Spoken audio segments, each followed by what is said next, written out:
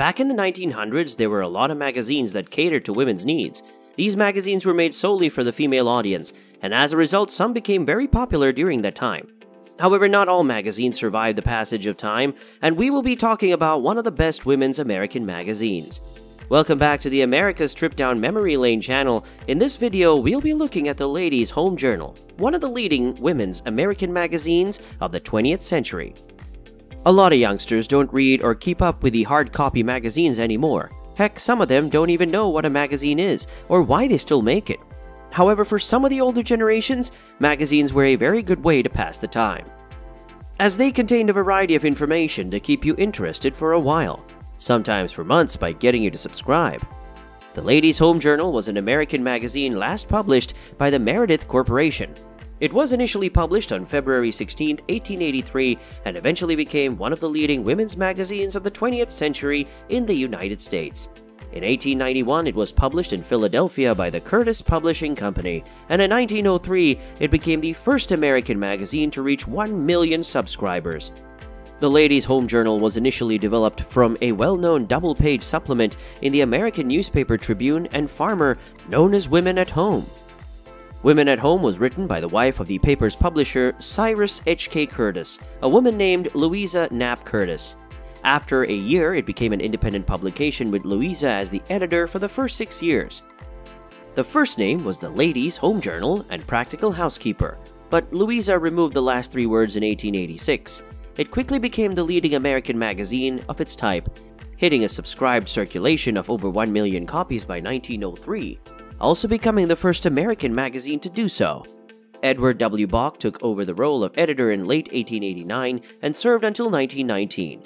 One of the features he introduced was the popular Ruth Ashmore advice column, written by Isabel Mallon. After Edward took over as editor, Louisa Knapp Curtis remained involved with the magazine's management, and she also wrote a column for each issue. In 1892, the Ladies' Home Journal became the first magazine to refuse patent medicine advertisements, and in 1896, Edward became Louisa's son in law when he married her daughter, Mary Louise Curtis. At the beginning of the 1900s, the magazine published the work of muckrakers and social reformers such as Jane Addams. In 1901, it published two articles accentuating the early architectural designs of Frank Lloyd Wright. Edward introduced business practices at the Ladies' Home Journal that contributed to the magazine's success. This included the inclusion of advertising to offset costs, low subscription rates, and reliance on popular content.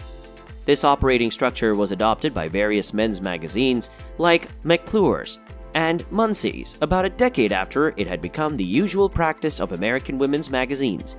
Many scholars argue that women's American magazines like the Ladies' Home Journal started using these strategies magazine revolution. During the Second World War, the Ladies' Home Journal was a predominantly favored venue of the government to place articles meant for homemakers in an effort to keep up morale and support. The annual subscription fee was paid for the production of the magazine and its mailing to the subscriber. The magazine's profits came from major advertising pitched to families with above average incomes of about 1,000 to $3,000 in 1900. In the 1910s, the Ladies' Home Journal carried about a third of the advertising in all women's magazines in America. By 1929, it had almost twice as much advertising as any other publication apart from the Saturday Evening Post, which the Curtis family also published. The Ladies' Home Journal managed to sell to 2 million subscribers in the mid 1920s, growing a little during the years of the Great Depression and surging again during post World War II prosperity. By 1955, each magazine issue sold 4.6 million copies, and there were possibly 11 million readers. To say the least, the magazine was doing really great. In March 1970, a group of feminists led by Susan Brownmiller held a 11-hour sit-in at the Ladies' Home Journal office with some of these women sitting on the desk of the editor John Mack Carter smoking his cigars and asking him to quit his job and be replaced by a female editor. John Carter declined their proposal, but he listened to their objections, and as a result, they were permitted to produce a section of the magazine that August. They wanted the Ladies' Home Journal magazine to recognize a wider variety of choices for women's lives and give more attention to women's issues such as sexual discrimination and abortion. The magazine, along with its major competitors Better Homes and Gardens, Family Circle, Good Housekeeping, McCall's, Redbook, and Women's Day were known as the Seven Sisters, for a long time after the prestigious women's college in the Northeast. The name was gotten from the Greek myth of the Seven Sisters, also known as the Pleiades. For many years, the magazine had the highest circulation of this group of seven, but in 1961, it fell behind McCall's. By 1968, this magazine circulation was 6.8 million as opposed to McCall's 8.5 million.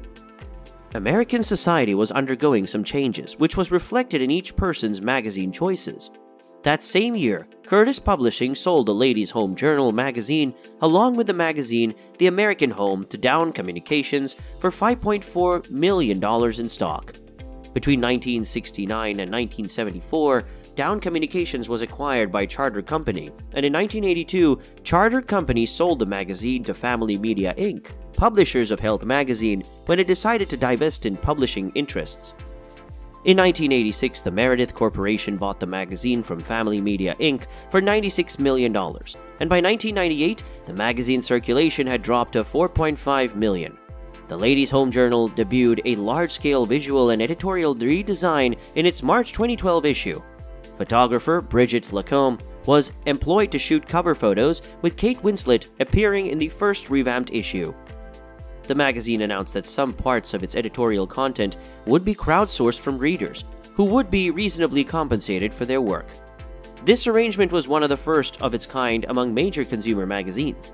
Although the journal remained very popular, it ran into growing difficulty attracting advertising. Despite its high subscriber base of about 3.2 million, it was no longer a leader in the women's service category. These factors incited the decision to terminate monthly publication. On April 24, 2014, Meredith Corporation announced it would stop publishing the magazine as a monthly publication, ending with the July issue. Meredith stated it was transitioning Ladies' Home Journal to a special interest publication. It was then available quarterly on newsstands only, though its website remained in operation. The magazine was relaunched as a quarterly publication, and at the same time, the magazine's headquarters moved from New York City to Des Moines, Iowa, Meredith Corporation offered its subscribers the opportunity to transfer their subscriptions to Meredith's Sisters Publications. Things remained uncertain for the magazine, and in 2016, Meredith Corporation partnered with Grand Editorial to produce the Ladies' Home Journal. However, only one issue was created. In 1946, the magazine adopted the slogan, Never underestimate the power of a woman, which it continues to use today. The Ladies' Home Journal's trademark feature is Can This Marriage Be Saved? In this popular column, each person of a couple in a troubled marriage explains their view of the problem. A marriage counselor explains the solutions offered in counseling, and the outcome is published. It was written for 30 years, beginning in 1953 by Dorothy D. McKay, under the name of Dorothy Cameron Disney. Dorothy co-founded this column with Paul Popenoe, a founding practitioner of marriage counseling in the United States, and the two wrote a book together of the same title in 1960. Both the book and the magazine column drew their material from extensive case files of the American Institute of Family Relations in Los Angeles, California. Dorothy died in 1992 at the age of 88. Subsequent writers for the column have included Lois Duncan and Margery D. Rosen. The illustrations of William Ladd Taylor were also featured between 1895 and 1926, and the magazine also sold reproductions of his works in oil and watercolor. You can say that the Ladies' Home Journal magazine was a vintage magazine that stood the test of time and survived over 130 years. While it might not be as strong as they once were, they are still being considered one of the leading women's magazines in America for decades. Thank you for watching this video. Hit us up in the comments section and give us a thumbs up if you liked the video. Also, don't forget to subscribe to the channel for more videos.